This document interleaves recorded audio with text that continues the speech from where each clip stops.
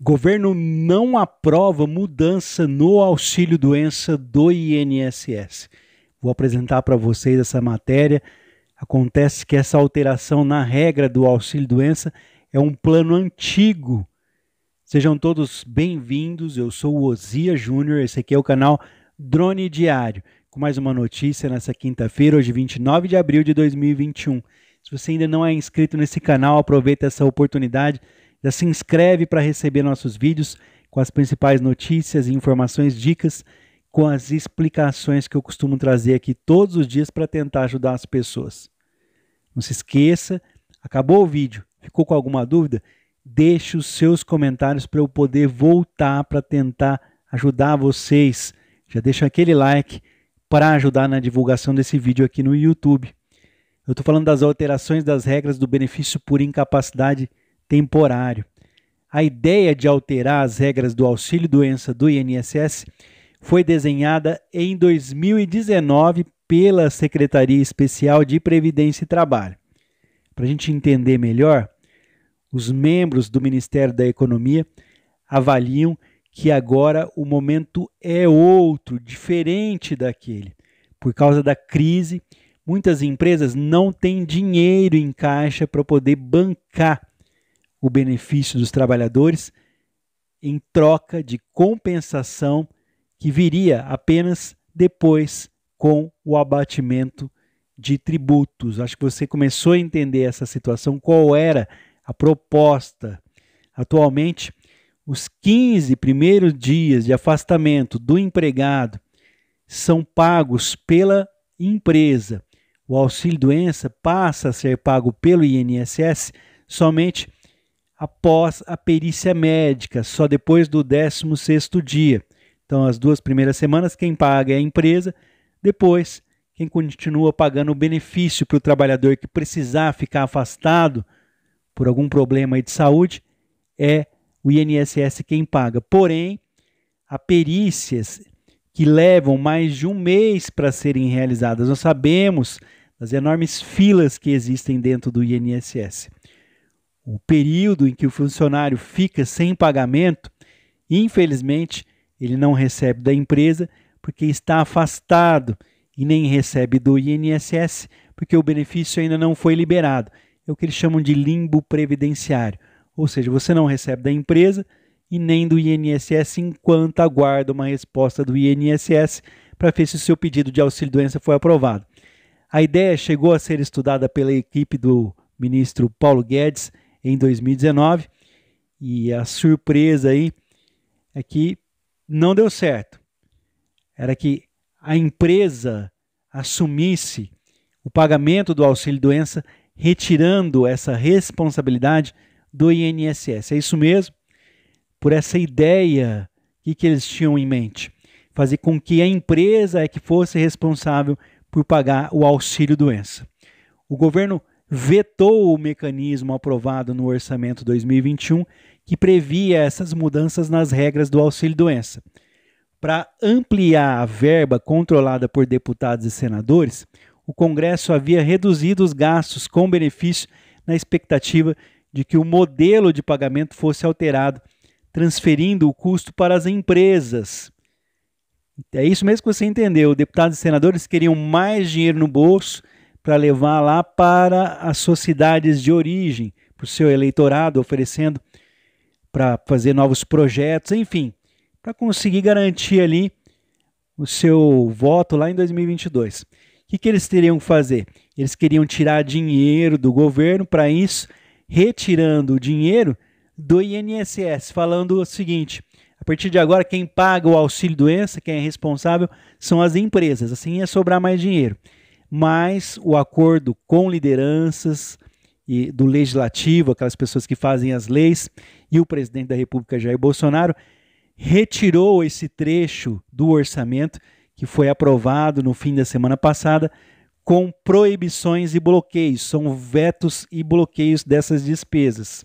O objetivo foi garantir recursos suficientes para o pagamento de gastos obrigatórios, como aposentadorias e outros benefícios do INSS. Esses gastos são obrigatórios e, no entanto, deputados e senadores haviam tirado esse dinheiro para utilizar em recursos, para conseguir verbas para novos empreendimentos, para, por exemplo, para obras, enfim, para levar dinheiro lá para suas bases eleitorais. Sobre o corte da verba aí do auxílio doença, em março, o relator do orçamento, o senador Márcio Bitar do MDB do Acre, cortou cerca de 4 bilhões de reais que seriam a estimativa de despesas de benefício por incapacidade do auxílio doença. Esse dinheiro para pagamento do auxílio doença, partindo aí da premissa de que o governo enviaria uma medida provisória alterando as regras do auxílio doença. O movimento fez parte da estratégia para turbinar as emendas parlamentares, ou seja, o dinheiro para deputados e senadores, usados aí, portanto, por esses para destinar recursos, destinar dinheiro do orçamento a projetos e obras de suas bases eleitoreiras.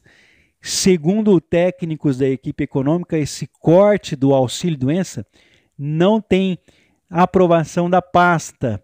Assim, o orçamento foi aprovado, já havia sido indicada a medida provisória uh, e nem chegou a ser publicado com essa medida, pois o assunto ainda está em discussão pelo governo.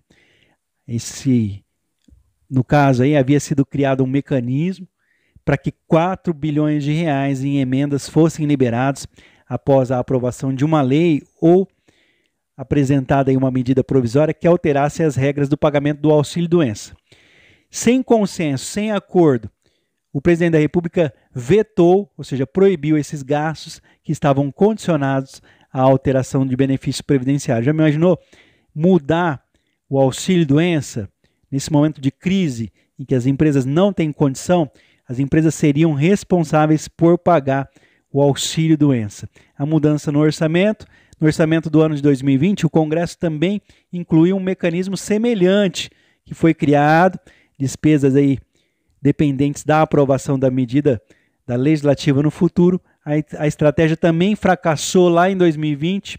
Na época, a liberação de 6 bilhões para obras para a área social, para programas Minha Casa Minha Vida, só aconteceria caso a aprovação da proposta de emenda da Constituição da proposta de emenda constitucional emergencial, cujo principal objetivo era conter o crescimento das empresas públicas, inclusive com medidas de corte de gastos com o funcionalismo público.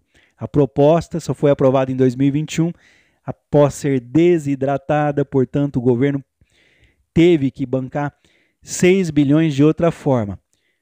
Acontece, acho que você entendeu a situação. O governo portanto, não aprova a mudança do auxílio doença. Eu estava devendo essas informações para vocês, que foram publicadas hoje. Vai ficar aqui na descrição desse vídeo para você poder ler, compartilhar aí com as outras pessoas para poder entender melhor essa situação.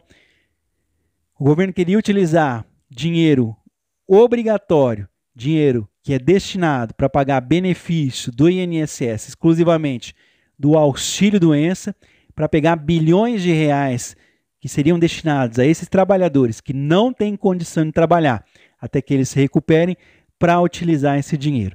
Então, não foi aprovada a mudança no auxílio doença. Compromisso do canal, compromisso cumprido de trazer essa informação caso houvesse essa mudança no auxílio doença. O auxílio doença não mudou. 15 primeiros dias continuam por conta da empresa, do empregador e somente a partir do 16º dia, é que o INSS paga, não vai ser responsabilidade da empresa como o governo queria. Por favor, dúvidas, deixa aqui nos comentários desse canal para eu poder voltar para esclarecer para vocês. E qualquer outro tipo de mudança, eu prometo, compromisso aqui, tá informando vocês. Um forte abraço a todos que acompanham os vídeos desse canal. Que Deus abençoe as nossas famílias nessa quinta-feira, hoje 29 de abril de 2021, e daqui a pouquinho eu volto com mais um vídeo informativo. Sempre compartilhe esses vídeos para que as pessoas se mantenham informadas. Meu muito obrigado. Até o próximo vídeo.